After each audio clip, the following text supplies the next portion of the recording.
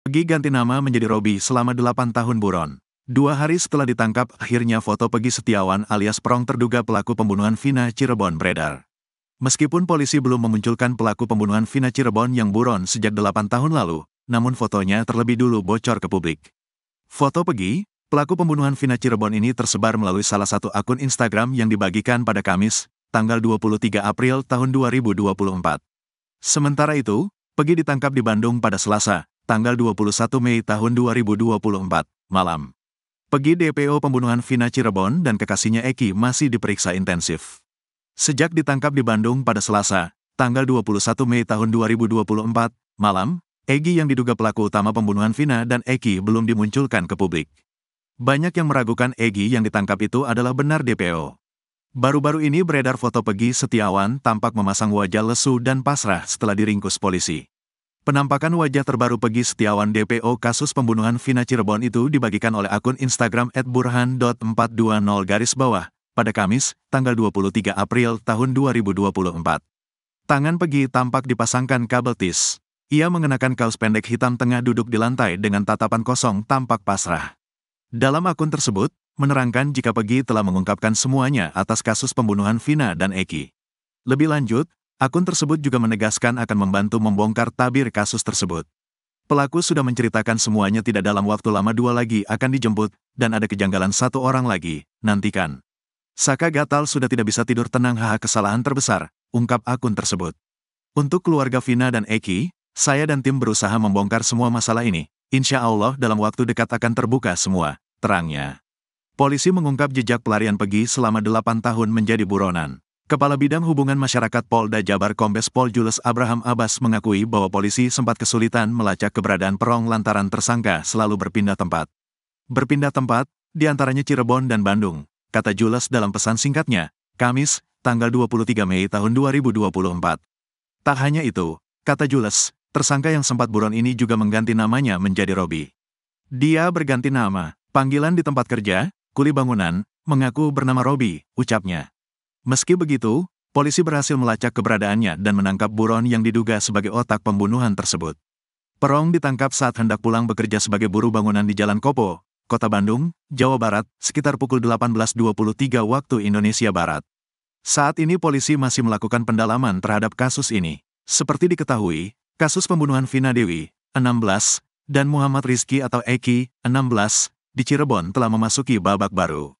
Persitiwa pembunuhan dan roda paksa itu terjadi pada tanggal 27 Agustus tahun 2016 di Jalan Raya Talun, Kecamatan Talun, Kabupaten Cirebon, Jawa Barat. Vina dan kekasihnya dibunuh secara sadis oleh sejumlah geng motor. Setelah membunuh korban, geng motor ini juga merekayasa kematian korban seolah korban dan kekasihnya tewas karena kecelakaan. Dari total 11 pelaku, 8 pelaku sudah diadili, sementara tiga lainnya buron. Terbaru, satu buronan yakni Pegi ditangkap, artinya ada dua lagi yang masih DPO. Ada dua buron yakni bernama Dani dan Andi yang masih berkeliaran bebas dalam kasus ini. Keseharian Pegi buronan pembunuh Vina Cirebon diungkap pemilik kontrakan. Keseharian Pegi Setiawan alias Perong, 30, buronan pembunuhan Vina Cirebon diungkap pemilik kontrakan di Bandung, Jawa Barat.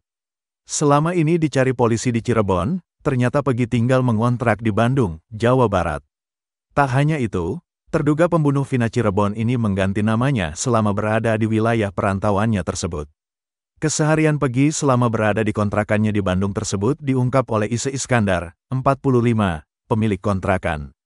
Bahkan Ise Iskandar mengaku lihat sosok Pegi tidak seperti orang yang tengah bermasalah. Dia tidak menyangka jika Pegi bakal berurusan dengan polisi terkait kasus yang sedang viral, pembunuhan Vina Cirebon.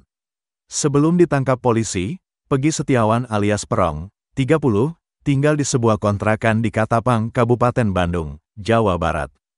Pegi adalah satu dari tiga buronan yang masuk dalam daftar pencarian orang, DPO, pembunuhan Vina Cirebon. Ise Iskandar, 45, Pemilik kontrakan mengatakan Pegi baru menempati kontrakannya, sekitar lima hari sebelum ditangkap polisi.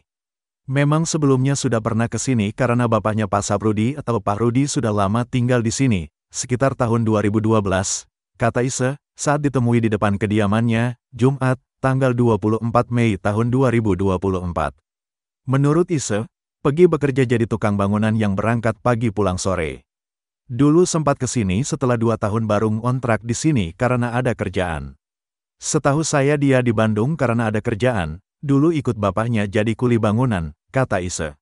Lalu kata Ise, pergi kembali ke Cirebon, ke kampungnya karena di Bandung tak ada kerjaan sebab bapaknya jadi bekerja di restoran. Baru kembali lagi ke sini, sekitar lima hari sebelum penangkapan. Kami di sini tak menyangka sama sekali, Pegi yang dikenal dengan nama Robi ini terlibat kasus pembunuhan Vina Cirebon, tuturnya. Sebab kata Ise, ia berkegiatan seperti biasa, bahkan lebaran kemarin juga ke kampungnya di Cirebon. Jadi kami di sini tak menyangka sama sekali, dan sangat kaget. Secara kasat mata kalau melihat kesehariannya Pegi, tak mungkin dia melakukan itu, soalnya terlihat baik suka ke masjid juga, ucapnya. Selain itu, kata Ise, Pegi terlihat biasa saja tak seperti orang yang punya masalah, berkegiatan biasa, pagi kerja pulang sore. Paling keluar cari makanan, jadi kami di sini tak menyangka sama sekali. Yang saya tahu pergi ke Bandung karena ada kerjaan di bangunan, kata Ise. Jadi kata Ise, Pegi tak pernah terlihat kumpul-kumpul sama teman-temannya atau nongkrong seperti itu. Jajauhan katinggalna tina geng motor mah. Secara kasat mata terlihat orang yang tak punya masalah dan terlihat anak baik suka ke masjid, ujar Ise. Saat ditangkap juga, Kata Ise, kan sedang bekerja di tempat kerjanya, berkegiatan seperti biasanya. Kalau gak salah sedang mengecat rumah, jadi ditangkapnya bukan di sini, katanya. Peggy Setiawan alias Perong, salah satu DPO kasus Vina, berhasil diamankan polisi. Namun tetangganya tidak yakin bila Peggy Setiawan adalah pembunuh Vina dan Eki. Peggy ditangkap polisi di Bandung pada Selasa 21 Mei malam. Dikutip dari tribunnews.com, satu dari tiga buronan polisi pelaku pembunuhan Vina yakni Peggy alias Perong berhasil ditangkap. Peggy ditangkap saat menjadi kuli bangunan dan polisi langsung menggeledah kediaman Peggy bersama neneknya di Blok Simaja di Desa Kepompongan, Kecamatan Talun, Kabupaten Cirebon, Jawa Barat pada Rabu 23 Mei. Di sana polisi memeriksa tiga anggota keluarga Peggy dan mengamankan sejumlah barang bukti. Meskipun begitu, sejumlah tetangga Peggy di Cirebon merasa sangat tidak mungkin Peggy adalah pelaku pembunuhan Vina. Sebab saat pembunuhan terjadi pada tahun 2016 lalu, Peggy Setiawan diketahui merantau dan berada di Bandung. Salah satu tetangga Peggy bernama Mela mengatakan Peggy dikenal sebagai sosok pekerja keras dan tulang punggung keluarga. Karena Peggy sering bekerja merantau keluar Cirebon sebagai kuli bangunan. Bahkan menurut Mela saat kejadian kasus Wina, Peggy sedang merantau. Polisi menegaskan Peggy Setiawan yang ditangkap di Bandung, Jawa Barat bukan korban salah tangkap. Peggy diduga menjadi otak pembunuhan terhadap Vina dan Eki pada tahun 2016 lalu. Peggy disebut mengubah identitasnya selama bekerja sebagai buruh bangunan di Bandung. Dikutip dari tribunnews.com selama ini, Peggy bekerja sebagai buruh bangunan untuk menghidupi ibu dan tiga adiknya di Cirebon. Diketahui Peggy tercatat sebagai warga desa Kepompongan, Kecamatan Talun, Kabupaten Cirebon. Kepala Desa Kepompongan Wawan Setiawan juga mengatakan Peggy kurang dikenal masyarakat. Terlepas itu, sang kades juga menyebut nama Peggy ternyata juga tak cuma satu melainkan ada lima. Penangkapan Peggy tetap saja sangat mengejutkan warga di desanya. Terlebih keluarga Peggy adalah keluarga tak mampu dan kerap menerima bantuan dari pemerintah desa. Hal yang sama juga dikatakan oleh Ketua RT Aris Lesmana. Dia mengatakan selama ini Peggy jarang bergaul dan lebih sering bermain di luar desa.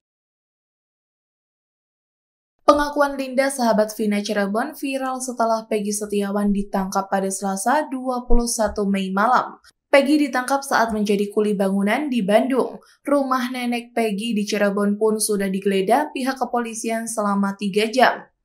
Dikutip dari tribunnews.com, viral pengakuan Linda, sahabat Vina yang sempat kerasukan. Keberadaan Linda ini juga sempat disinggung oleh Marliana, kakak kandung Vina. Menurut Marliana, dirinya sudah mencari di mana keberadaan Linda, sebab sejak pernah keserupan Vina, Linda tak pernah muncul lagi. Padahal Linda diduga jadi saksi kunci dalam kasus tersebut. Apalagi berkat Linda kasus pembunuhan ini akhirnya terungkap.